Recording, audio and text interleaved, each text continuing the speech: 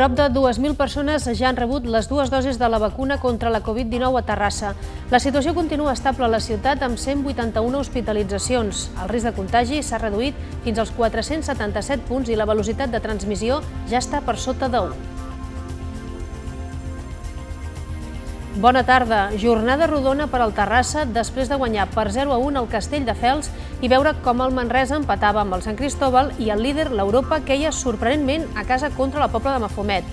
Aquesta combinació de resultats permet als de Juanjo García col·locar-se segons. L'empat a 0 contra el Manresa col·loca els de Can Anglada a la quarta posició després d'un partit sense gols de molta lluita i desgast físic dels dos equips.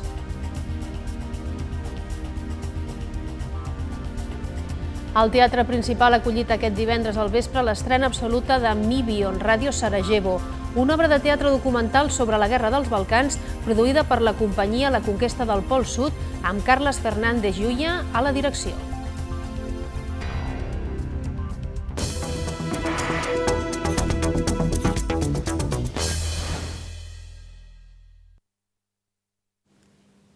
Només l'1% de la població terrassenca ha rebut les dues dosis de la vacuna.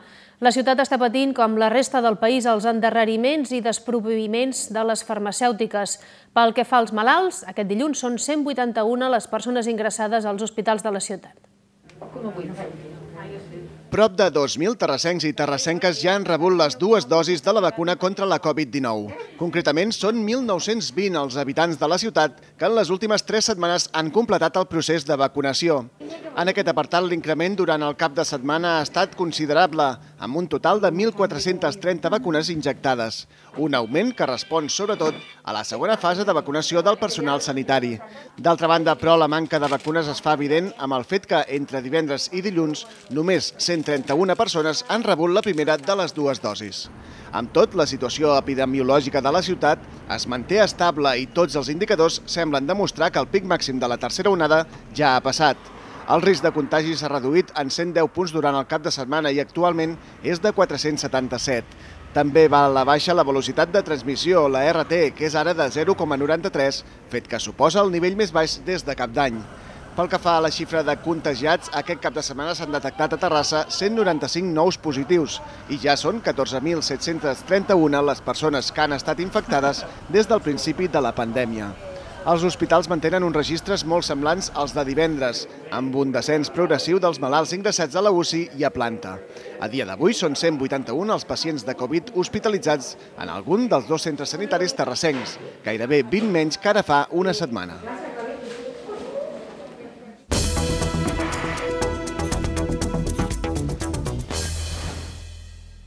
El Consell Comarcal està distribuint 2.180 lots d'higiene i alimentació infantil a famílies en situació de vulnerabilitat. Són tres tipus d'ajuts que s'estan fent arribar a 12 municipis del Vallès Occidental.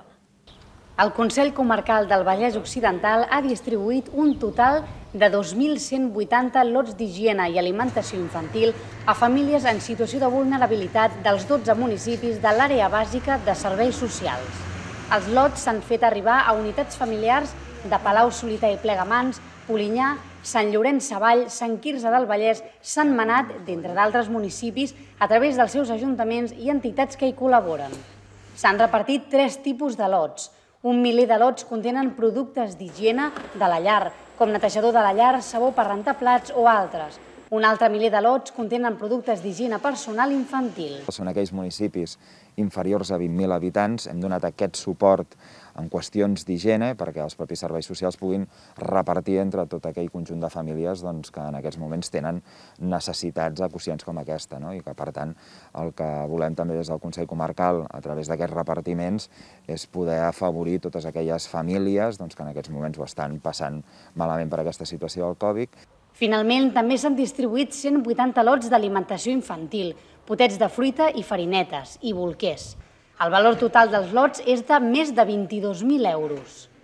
És una de les mesures previstes al Pla de Xoc Social del Consell Comarcal per fer front a l'impacte de la Covid-19. La nova degana del Col·legi de l'Advocacia de Sabadell, Eulàlia Barros, ja ha pres possessió com a nova consellera del Consell de l'Advocacia de Catalunya.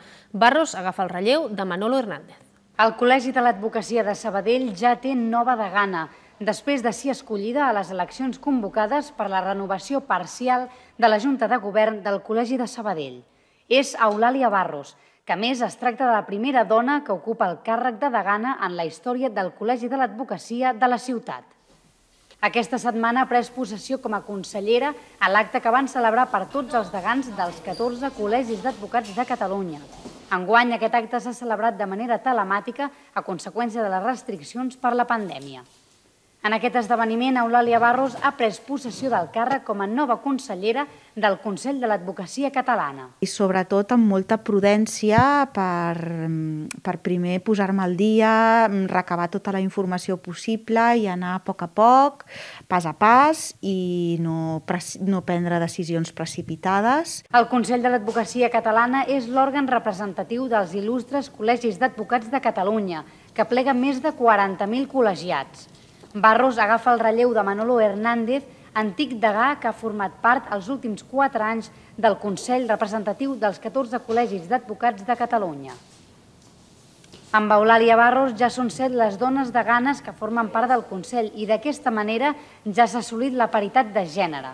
En aquest inici del seu càrrec explica l'objectiu més primordial en el que treballarà amb la seva Junta treballar sempre en benefici del col·legiat i de la col·legiada. Un cop aquest, aquest objectiu s'hagi acomplert, extendrem també a la resta d'àrees de la nostra societat, és a dir, afavorirem sempre el ciutadà o ciutadana, eh, donarem suport a, a organismes, a institucions, associacions ciutadanes, però sempre l'objectiu primordial serà eh, defensar els drets dels nostres col·legiats i de les nostres col·legiades. Exerceix, a més, com a advocat advocada des del seu propi bufet, situat a Ripollet, i forma part dels serveis de torn d'ofici i assistència al detingut. L'endemà d'aconseguir el tercer grau, Josep Rull ha participat en els Cants per la Llibertat al Raval de Montserrat per agrair el suport rebut des de fa més de 3 anys. En l'acte ha coincidit amb el cantautor Joan Amèric. És molt difícil per a mi. Més de 200 persones s'han aplegat aquest dissabte al Raval de Montserrat amb motiu dels Cants per la Llibertat que han celebrat el retorn de Josep Rull. La presència de l'exconseller Garenc ha estat la sorpresa d'una cantada que ja havia de ser especial per la participació del cantautor del Zira, Joan Amèric. Just l'endemà d'haver aconseguit de nou el tercer grau, Rull ha volgut acudir a la cita per agrair en persona el suport i la constància dels cantaires. L'acompanyaven Meritxell Lluís també el conseller d'Interior, Miquel Samper. Bàsicament vinc a donar les gràcies. Gràcies mil vegades. No ens cansaríem de fer-ho perquè l'escalf, l'estima que hem rebut, tots els presos polítics i exiliats, durant aquest període de temps ha sigut excepcional. Des de dins les cel·les ens ho expliquen amb cartes, ens diuen els ravals sempre hi són. Doncs home, això és el que ens ha permès en els moments més complicats doncs no, no enfonsar-nos, no vinclar-nos. Per la seva banda, Joan Amèric ha interpretat algunes de les seves cançons, començant per Perquè sóc poble. D'aquesta manera, complia amb un compromís que va adquirir a l'acceptar la invitació rebuda quan va visitar Terrassa en el concert del 25è aniversari de l'Associació d'Amics del Centre Parroquial Santa Creu amb Maria del Mar Bonet. Amèric havia tornat a Terrassa el passat mes de desembre per oferir una altra actuació al teatre principal.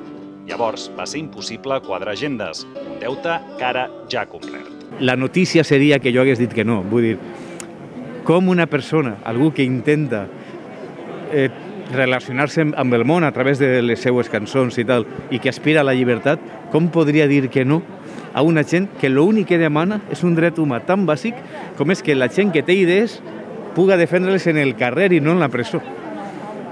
És evident. Excepte algunes edicions telemàtiques per l'obligació de complir amb les restriccions de la pandèmia, els Cants per la Llibertat se celebren al Raval de Montserrat cada dia des del 14 de novembre de 2017 per reivindicar la llibertat dels presos independentistes.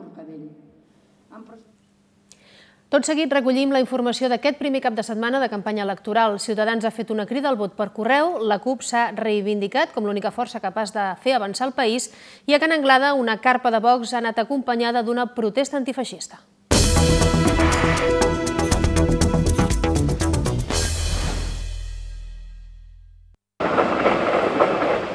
El Mercadal de les Fonts ha estat el punt escollit per Ciutadans en aquest primer diumenge de campanya electoral.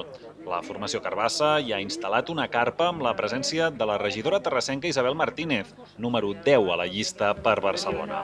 També l'acompanyava el portaveu del grup municipal de Ciutadans al ple, Javier González. El mercat presentava una imatge molt diferent a la d'abans de la pandèmia únicament amb parades d'alimentació.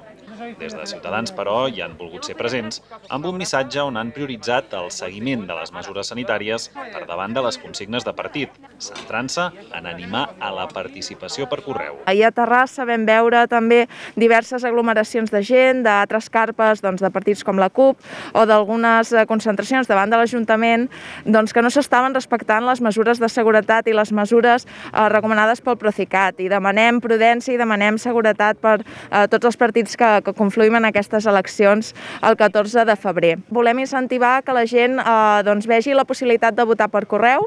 Jo mateixa aquesta setmana he sol·licitat el vot per correu a l'oficina de correus. És un procediment molt fàcil, jo vaig tardar escassament 5 minuts en entrar, sol·licitar el formulari, eh, omplir les dades. Ciutadans insisteix que la gran majoria d'accions de campanya les faran de manera telemàtica, sense grans mítings multitudinaris i restringint els actes presencials a la instal·lació de carpes com la d'aquest diumenge a les Fonts.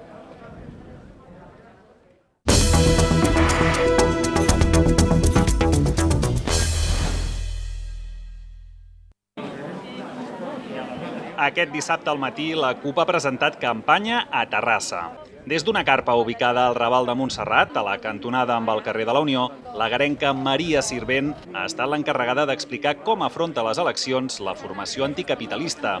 Sirvent, número 7 a la llista per Barcelona que encapçala Dolors Sabater, ha reivindicat l'origen municipalista i de lluites col·lectives de la candidatura, alhora que ha identificat la CUP com l'única força de l'independentisme que pot fer avançar el país tant en l'àmbit social com nacional. Hi ha gent que cada dia està patint per arribar a final de mes. També necessitem un programa de transformació social, perquè el que sí que sabem és que si les coses es mantenen tal i com estan, no tenim futur com a poble. I també necessitem que aquest país avanci nacionalment. I per això és molt important que l'independentisme recuperi la iniciativa. Nosaltres som l'alternativa, som la única força política que podem fer avançar el país social i nacionalment. La campanya de la CUP a Terrassa continuarà aquest dimarts a la tarda amb un acte al Centre Cívic Montserrat Roig amb la número 3 per Barcelona, Eulàlia Reguant, i de nou Maria Sirvent. Els copaires també preveuen un acte final davant dels jutjats de Terrassa amb el número 4 de la candidatura, Xavier Pellicer, per parlar sobre immigració i repressió.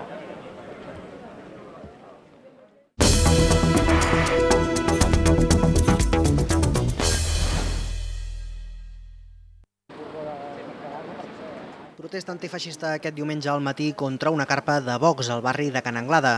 Unes 80 persones s'hi han concentrat convocades per l'Assemblea Local d'Unitat contra el Feixisme i el Racisme de Terrassa, que fa pocs dies que s'ha activat i que ja compta amb més d'un centenar d'activistes. Fa temps que estaven des d'Unitat contra el Feixisme, una ciutat tan gran com Terrassa, i, i, i que s'està dient que té una bona assemblea de Vox, doncs eh, ja s'estava intentant que hi hagués un grup aquí que respongués, i la veritat és que ha sigut molt fàcil perquè hi havia molta gent preocupada per la, la pujada de Vox i per tant ha sigut convocar-ho i immediatament han respost més de 100 persones. Els activistes han repartit fulletons on explicaven els motius pels quals consideren que Vox no hauria d'estar a les institucions. Tot i que no es preveia una concentració davant de la parada, finalment els manifestats s'han repartit per la plaça just davant de la carpa, protegida per un cordó dels Mossos d'Esquadra. Aquesta gent s'està eh, expressant de forma irregular, totalment il·lícita també, eh, estan fins i tot, potser, eh, amb un delicte de, de electoral, perquè no poden amedrentar tampoc un partit polític com el nostre, eh, que ens acompanyen dia sí, dia també, la carpa de Vox era el primer acte de campanya del partit a Terrassa. La formació d'extrema dreta preveu organitzar parades informatives per tota la ciutat amb la presència dels afiliats locals i també d'alguns dels candidats per la demarcació de Barcelona.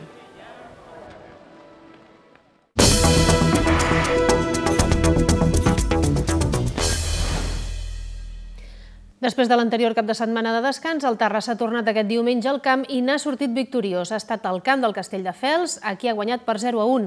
Els locals ja són segons i diumenge que ve s'enfronten a casa amb l'Igualada. Jornada rodona pel Terrassa després de guanyar per 0-1 al Castell de Fels i veure com el Manresa empatava amb el Sant Cristóbal i el líder, l'Europa, que ella sorprenentment a casa contra la Pobla de Mafumet. Aquesta combinació de resultats permet als de Juanjo García col·locar-se segons amb 23 punts, a només dos dels escapulats. El Terrassa ha estat el dominador la major part del primer temps i ha tancat el Castelldefels. Lucas Vinya ja ha avisat amb un xut llunyà i als 11 minuts el lateral esquerre no ha perdonat. Una combinació per la dreta entre Ivan Agudo i Salva l'ha finalitzada rematant el primer pal. En la següent jugada, Ivan Agudo ha estat a punt de fer el segon, però Yamandú ha intervingut amb encert. Un error en la sortida de la pilota de Castillo davant Fran Orellana ha estat a punt de significar el gol de l'empat, però Ortega ho ha evitat i poc després l'expulsió d'Adri Lledó en el minut 42 per dues grogues ha deixat els visitants en inferioritat. A la represa, els de Miqui Garrillo han aprofitat la superioritat numèrica per pressionar el Terrassa, però davant s'han topat un i altre cop amb Ortega. Blasco ha posat a prova els reflexes del capità terracista. La resposta visitant ha estat un xut de Jaume que ha sortit molt a prop del pal. Ha estat un miratge perquè el joc vertical del Castelldefels ha seguit donant molts problemes a la defensa del Terrassa, però la falta de punteria dels locals i les intervencions d'Ortega davant Vives i en un mama amb Kevin Díaz han estat decisives. Quan més dominaven els de Carrillo, una picabaralla general ha acabat amb l'expulsió en vermella del local Kevin, desactivant per complet el Castell de Fels. En igualtat de condicions, el Terrassa ha recuperat el control i s'ha acabat emportant la victòria. Els primers 20-25 minuts han sigut molt bons. Jo crec que hem tingut totalment la possessió, hem generat ocasions. Arriba l'expulsió, ja, ja començàvem a no estar bé, aquesta segona part ja bueno, és una mica bueno, compromesa, no? perquè, perquè ve d'una pèrdua de pilota. I jo crec que la segona part, pues, ja els he dit a ells, o sigui, jo al final quan, quan, quan tens quan tens un equip amb, amb aquests jugadors que tenen moltíssima qualitat i que treballen com treballen, jo estava totalment tranquil. Al final jo crec que, que el Castelldefels ha tingut opcions i, i, i José pues, ha estat inconmensurable. Diumenge primera oportunitat per assaltar el liderat davant la visita de l'Igualada. El Sant Cristóbal, en canvi, no ha pogut passar de l'empat sense gols aquest diumenge en el seu enfrontament amb el Manresa, un partit molt igualat que situa els de Can Anglada en quarta posició a la classificació. El proper rival serà el Valls. Punt molt valuós del Sant Cristóbal davant la visita del Manresa a Can Anglada. En un partit sense gols de molta lluita i desgast físic dels dos equips, el quadre d'Oliver Vallabriga ha fet vol empat per situar-se quart amb 20 punts, aprofitant la jornada de descans del Vilafranca. Tom, amb les seves cavalcades per la banda esquerra, ha estat el jugador més actiu dels parroquials, tot i així que rematada entre els tres pals dels dos equips en el primer temps. L'ocasió més clara, una acció de Tom que quasi acaba amb un gol en pròpia porteria d'Àlex Sánchez. El Sant Cristóbal ho ha intentat a la represa i ha estat més a prop del gol. Una falta que ha tret Mario Domingo massa centrada ha estat un avís, tot i que Tom ha tingut en les seves botes la millor oportunitat per donar els 3 punts al seu equip. El davanter parroquial, però, no ha sabut connectar bé una centrada d'Obispo. Al final era un partido muy igualado donde estamos súper contentos, hemos defendido muy muy bien, prácticamente Manresa, que es uno de los equipos más goleadores del grupo, no ha tenido ninguna opción clara de, pegar a puerta, nosotros tampoco, pero sí que hemos tenido a lo mejor esas dos o tres opciones de, Tom que no han acabado bien, pero creo que el trabajo del equipo ha sido brutal, es verdad que es un punto, aunque sea en casa es bueno y ahora tenemos que, descansar, disfrutarlo y, bueno, y pensar en este punto en hacerlo bueno el siguiente partido. El Sant Cristóbal visitarà el penúltim al Valls en la propera jornada. Ja estan obertes les inscripcions per participar en la mitja marató de Terrassa i la cursa Santi Centelles virtuals que es faran de l'1 al 14 de març. La de 21 quilòmetres es podrà córrer per etapes, mentre que la de 5 s'haurà de fer d'una sola tirada. En tots dos casos es podrà triar el traçat. Pel control de temps caldrà baixar-se una aplicació. Els detalls estan especificats al web oficial. Es manté la vessant solidària de la prova i part dels diners recaptats de les inscripcions, que costaran 3 i 6 euros en funció de si es vol rebre una, la samarreta o no, anirà destinat a Creu Roja Terrassa. La samarreta s'haurà de recollir a la botiga Decathlon. Fantàstic, fantàstic.